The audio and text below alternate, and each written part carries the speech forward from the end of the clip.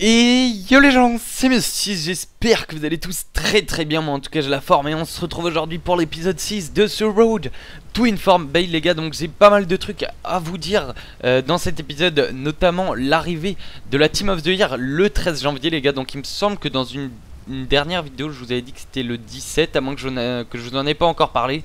Euh, sur le coup là je suis plus sûr du tout.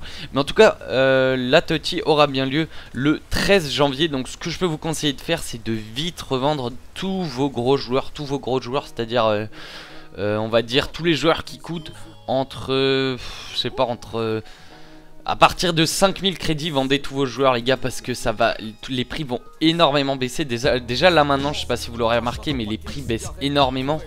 Euh, pour vous prendre un exemple, je vendais mes îles en MDC avant à 82 000, maintenant ils partent à à peu près 75 000, comme ça 74 000, donc les prix baissent énormément, notamment avec les gros joueurs, donc je vous conseille vraiment de vous dépêcher de, tout vendre avant de perdre euh, énormément de crédits.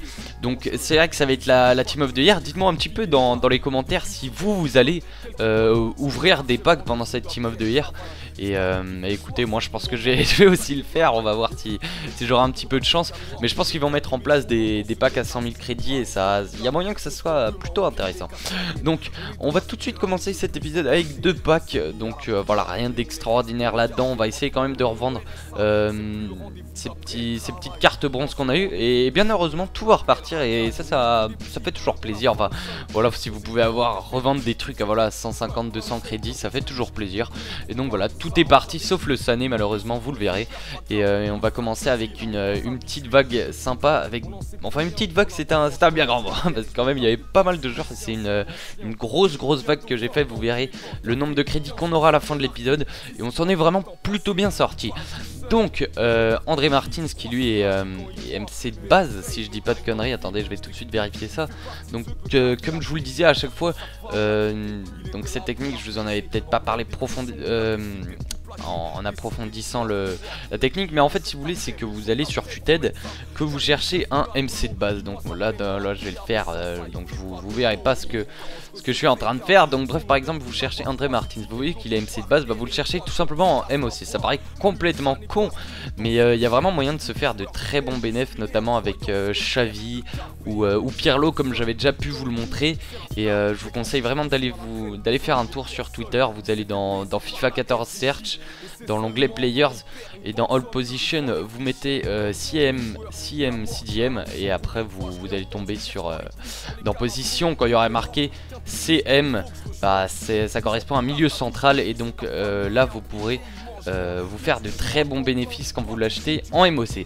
Donc pas mal de, joueurs en, en, or, en argent, toujours cette même technique des changements de poste qui marche plus que bien.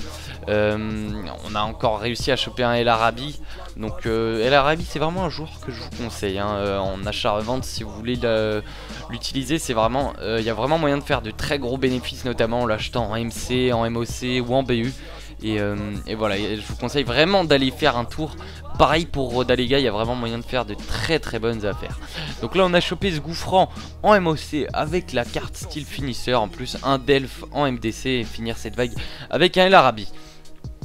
Donc écoutez les gars, euh, comme d'habitude, le lien de mon Twitter est dans la description. Euh, c'est vrai qu'il y a pas mal de gens qui me demandent encore sur Skype et tout ça, qui essayent de me parler. Mais c'est vrai que je suis vraiment très très peu actif les gars. Et quand je dis très très peu, c'est vraiment très très peu.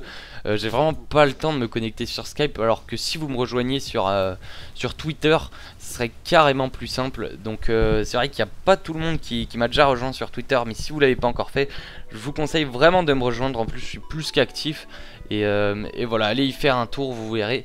Vous serez pas déçus. Euh, alors que sur Skype, c'est vrai qu'il y a des gens, ça fait pas mal de temps que j'ai pas répondu, j'imagine. Donc, euh, voilà, ne vous inquiétez pas, c'est tout simplement que, je me connecte pas sur Skype parce que j'ai pas le temps. Dans le sens où, où à peine je me connecte, je me fais harceler par 20 messages en même temps. Donc c'est un petit peu compliqué de, de tous vous gérer en même temps. Donc j'espère que vous comprendrez ce que j'essaye de dire. Et, et écoutez, tous les joueurs euh, sont bien heureusement repartis. Donc, euh, donc comme je vous l'avais dit, les, cartes en bronze sont bien reparties. Euh, les Diego Costa, le Gouffran, le Oscar. Enfin voilà, tout, tout est bien parti. Vraiment une très très bonne vague. Là j'ai essayé vraiment de, vider tous mes crédits. Et écoutez, ça a plutôt bien marché vu que vous allez voir à la fin de l'épisode qu'on s'est quand même fait 50 000 crédits de bénéfices. Donc c'est vrai qu'il y, a des gens qui m'avaient demandé si je pouvais euh, mettre par exemple euh, le nombre de crédits que j'avais au début de la vidéo euh, et le nombre de crédits que j'avais à la fin de la vidéo. Donc je vais pas le mettre dans cet épisode, mais je vais vous le dire oralement. Mais je pense pouvoir instaurer ça dans, le prochain épisode. C'est vrai que, que j'y avais pas pensé tout de suite, mais c'est vrai que ça peut être une idée pour un petit peu tout bien mettre en place et qu'on fasse un petit peu un compte de tout euh, ce qu'on s'est fait comme bénéfice. Donc voilà, après une dernière vague avec, avec euh, cette fois-ci pardon, beaucoup moins de joueurs, mais, euh, mais des, très gros joueurs. Et avec cette technique des changements de poste, encore une fois, qui va faire très très mal, puisque tous les joueurs seront bien repartis. Donc voilà, si, si je peux vous donner encore un dernier conseil, évitez de, de faire de l'achat-revente sur de trop gros joueurs. Euh, moi j'ai arrêté un petit peu dans le sens où leur prix baisse, euh, baisse très très vite. Et donc faites attention à ça et surtout au prix en ce moment qui, qui change énormément. En tout cas, 50 000 crédits de bénéfices sur cet épisode. Ça fait franchement super plaisir. Et moi je vous dis à la prochaine pour de nouvelles vidéos. Ciao tout le monde